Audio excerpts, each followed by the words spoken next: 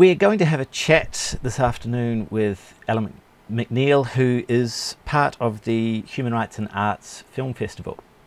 And we thought it would be an interesting opportunity to talk about the potential value that film and visual media more broadly has um, for human rights more broadly, but also particularly uh, one of the things that interests me is the um, the potential value of human rights within or, f- or for pushing the cause of the human rights movement. It's certainly for me one of the things that I think about um, first off when I when I think about film is the impact that it can have on civil society. Mm. What were your thoughts? Well, I think yeah, when you talk about how film fits into that broader human rights discussion and how um, people can engage with it, I think it's maybe I'm biased. I think it's one of the most accessible ways to engage people with human rights. I think story, this the art of storytelling mm. is the best way to engage people in, in things that they just might not uh, know much about or before they get to a level of may- maybe doing something about human rights, for example. So I think yeah. um, it plays such a powerful role because it's like an entry point yeah. for a lot of people. And I think it's how most people start on this journey of, yeah. of I guess, understanding human rights and being involved in the kind of advocacy and protection of human rights, you need to be care, you need to be compassionate. And I think mm. storytelling uh, introduces you to these people that um, you, you know you, that you'll never really forget, and it kind of builds on on that on that kind of journey. I think. Um, and film so is film is so powerful in its effect, and it can cross cultural boundaries. Absolutely. So so powerfully. Yeah, I think it's uh, also a really inspiring medium. Yeah. So it's the one thing that people can take something from it and, and use that. Um, mm. That sometimes traditional media or where it's really kind of heavy on the on the information, perhaps not the hum, human mm. side of it or the human face to that story. Um, maybe yeah, that's where kind of traditional media can lack. Whereas I think the film or the arts or the kind of engaging storytelling, um, yeah, is is the way to really cross cultural boundaries, in, you know, and, and really talk to an audience that that can be much broader, perhaps than. And certainly the success of the festival itself, the the growth in attendance would would um, reflect that. Have you had mm. particular um, comments from people?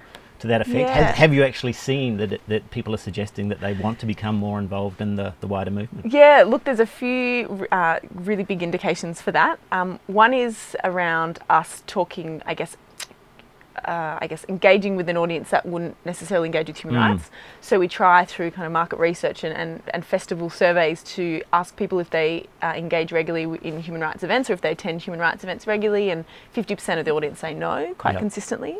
Um, with the growth of the festival, I think we definitely uh, see our core audience, which would be people that are kind of socially just have a sense of social justice yep. and want already, um, you know, our guests the converted, you might call them, um, bringing other people yeah, to, to, along. Yeah. Um, so that kind of growth, which you know brings new people into the festival.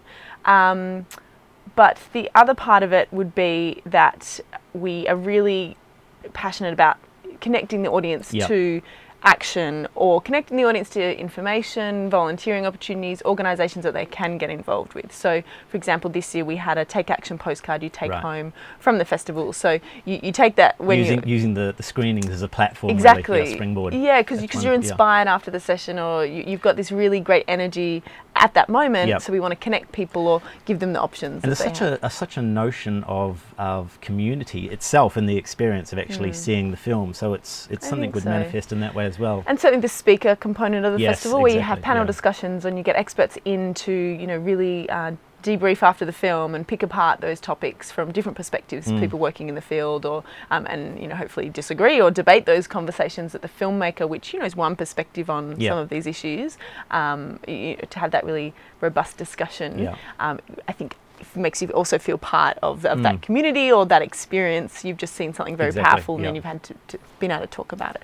Um, and some of the testimonials from the festival is a really good indication. One of my favourites last year was someone came and said, "Thank you, HRAFF. I now know what I want to do with the rest of my life." Wow! I just, and I just was like, that is a highlight. Um, I think for us, where you think it, yeah. it can change. You know, it it's an it's an extra experience yes, that could lead yes. you in a really great direction. Yeah. For others, it might just be a, a, conversation you have with your conservative dad after Yes, the film. it's you know we've heard testimonies from that saying I brought my dad along. He didn't even know what the legal system in Africa was like, Yeah. or you know what voting was like for one of And the particular. film in itself, um, there's an there's an evidentiary component to film. Um, I'm thinking at one level about uh, the audience perception because you know it's there's so much less of an interpretive component to what you see visually. It's so multi-sensory, um, which at one level can impact, I would imagine, um, your average Joe Bloggs on the street in one way. But similarly, I mean that suggests at least an opportunity um, for the collection, the documentation of human rights abuses. We know, um, for example, within the human rights um, NGO sector, one of the major challenges that it's had has been, and one of the things that's been recognised, is the importance of being fastidious when it comes to the documenting of abuses, particularly when you're looking at confronting a state um, itself with these sort of notions. I mean, has it? Have you seen film being used more and more in that capacity? I mean, certainly, um, there's so many films out there, and when we're curating the festival, you, you're choosing from an Mm. abundance of film. And you, one thing that always sticks with me is also how long it takes to make to make these Yeah. films. You know, these are seven to ten year projects for Yeah. so many filmmakers. So completely admirable in that sense as artists. Um, but yeah, I think it's a really good point of the documentation of these abuses. Um, th- there's a platform for these stories, uh, whether it's festivals like us, but Mm. also just the just media being massive and part, Mm. so much a part of our lives. So when you've got a platform for it, there's an audience for it. Mm. Uh, that that's really important. But really, it's it's the truth. You know, you Yeah. film when you film it, it's the truth. It's there. It's happened, and Yeah. that's a really important part of documenting human rights abuses and telling these stories to the world. Yeah. Um, and then raises that really interesting question of.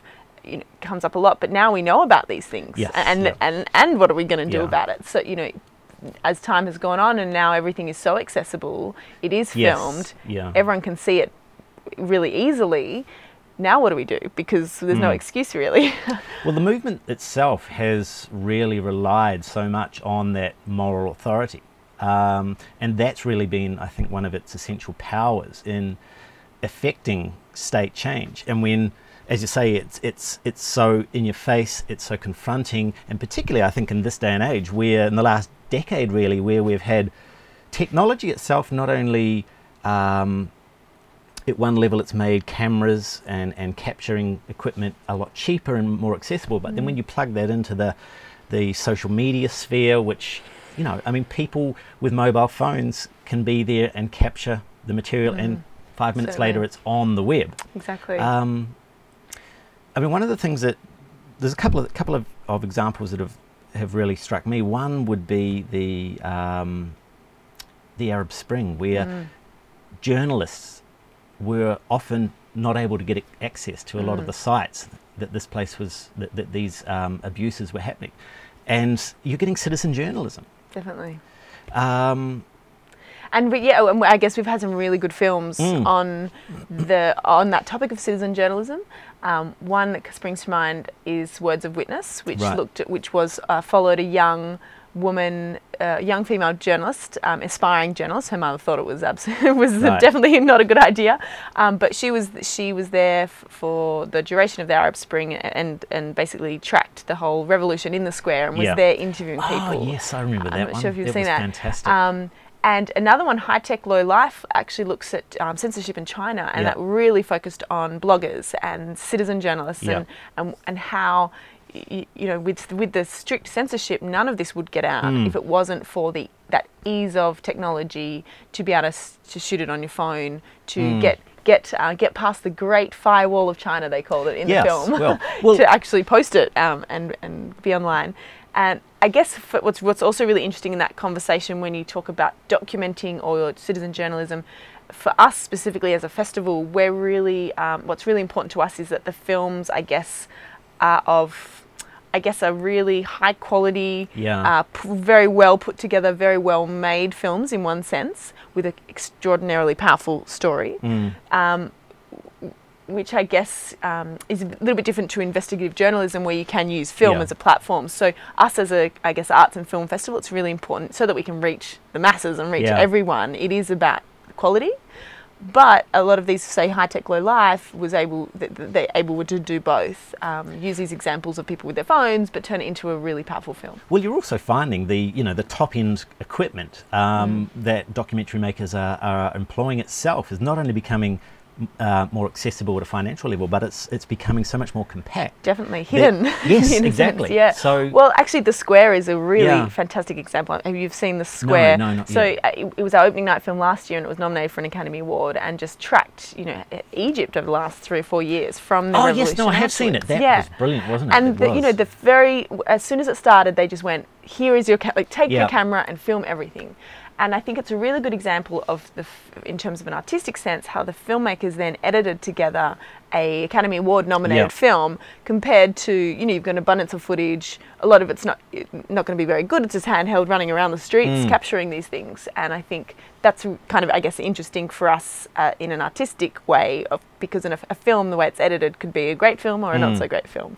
Um, but certainly that is just. Com- not not Yep. filmmakers making that film, just the average person on the street, just But, documenting. ev- but even with, happened. with filmmakers, it's so much more accessible for who can become a filmmaker and Absolutely. who can go out into the field and capture and actually capture that top quality um, material. Yeah, and I think that's why there's so many films to choose from from the yeah. program. That Which you know, a good thing. Yes. um, and and it's inspiring. I, I mean, you know, five broken cameras Mm. set in Palestine.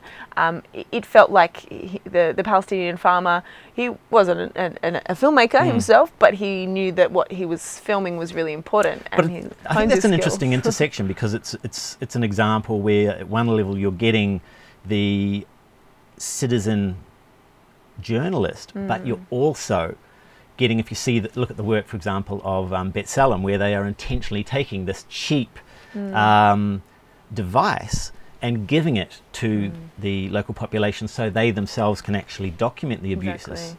And so yeah, then it's a, it's it just proves how powerful film can be because you know Yeah. it's a record of it. It's there. What you then do with it, I think, is really interesting. Do Yeah. you turn it into a more commercial project of a film that you want to go into Mm. festivals? Do you try and do it more as an investigative report? Do you submit it to Human Rights Watch and, and make sure something gets done about it and give it to the NGOs like Amnesty? Um, but I think it yeah just shows how the fact that you can reach different audiences though Exactly. by the way Yeah. that that material is repackaged again Absolutely. it's that, that emotive that Yeah. that effective power of film it's Yeah, and I just yeah we I guess we can just see that in the cinemas. You've got a packed cinema. Yeah. Um, they're completely all engaged in the story. You get to meet these people on the screen, and then hopefully you get to meet the Mm. director, or you have a conversation with them afterwards. Last night. Um, uh, as part of the festival, we had The Beekeeper, which is a really beautiful film about a Kurdish refugee setting, uh, living in, in Switzerland and kind of uh, Right. facing a lot of family separation and, and all those um, kind of things. But to have the filmmaker there afterwards and, and just explain that seven year process and how you get people to open up on film is also really interesting conversation where these are really intimate thoughts and, and feelings Mm. and to have a camera in, in your face how do you build that trust as a Mm. filmmaker? Uh, so certainly they're the most remarkable artists i think. I Oh, have so much yeah, admiration for filmmakers. And the movement i mean the human rights movement in a way has really been one of the real success stories of the last few decades. And one of the things that i find fascinating is that in that respect in a lot of ways your audience at the festival is a mirror of that. And almost at a professional level i'd be interested you know how have you seen have you seen any change in the in the cross section of the audience Yeah, it's it's an interesting one. Um, I think it is tricky. I think we've got quite a diverse audience. which is only a good thing Yeah, definitely. Um, and certainly, previously, it's I guess a large percentage, 60 70 percent of our audience is maybe under 35. It's quite quite a young Yeah. audience, but the festival's been around say eight years, Yeah. and I think each year it broadens in its scope and its reach because it's certainly not Yeah. just young people coming to the well, festival. yeah, I, people that I, I know that um, started going to it earlier are still going to it. So it's yeah, only- exactly. Yeah. You're growing your audience, literally. Exactly. and we have things like like other NGOs. You, you know, for example, we have a big gala, which is a very very different audience to our core film festival Mm. audience. It's a very expensive pri- ticket price, and you come and you do auction items and and all the rest. And through those kind of other avenues, we bring them into the festival. So kind of a Mm. different audience that would be our I guess traditional core audience of, of young students or professionals. I mean, that's an interesting. Just to go back to something you said there, obviously, at one level it's a commercial enterprise. It has to pay for itself to Mm. exist. But at the same time, in a sense, it is part. The, the festival is part of. It almost is an NGO. Does does the festival itself see it in that way? Um, I would hope so, in a way. Yeah, I guess yeah. We see ourselves as as an arts organisation first, um, as a not-for-profit arts Okay. and as a creative organisation. Yeah. That's been really important for us to separate the two as well, because we're rather than being human rights organisation Mm. first, we're an arts and film festival first, and that's why I guess for in terms of the content and the curation of the program, it is about quality. It is about um, programming films that someone that isn't interested in human rights will want to see. Uh, Exactly. I was just that's kind of the yeah. point because you, people that are interested in human rights, uh, we're, not going to have an. We don't really need to have an impact on them. It's if you came from a fundamentally NGO perspective, it would bring a particular lens to film, whereas I what you're so. suggesting, and in fact, what if you think about it at a pragmatic level, the angle that you guys are taking really does open up an entire new audience to the human rights movement. itself. Exactly, and I think hopefully, with if you think about, well, why do we do it? We want to Mm. have an impact. How are you going to have an impact? It's because it's not just the people that care Yeah. about human rights; it's everyone else. Um, and you know, there is a commercial aspect of it when you think about the marketing and the branding and the positioning of, of your organisation. It's it's about being really Mm. accessible. You know, uh, the, the kind of visuals that we use around it, and the, the music, and all those Mm. kind of things. So people walk on the streets and go, "That looks great," and then go, "Oh, it's human rights." So Yeah. we trick them.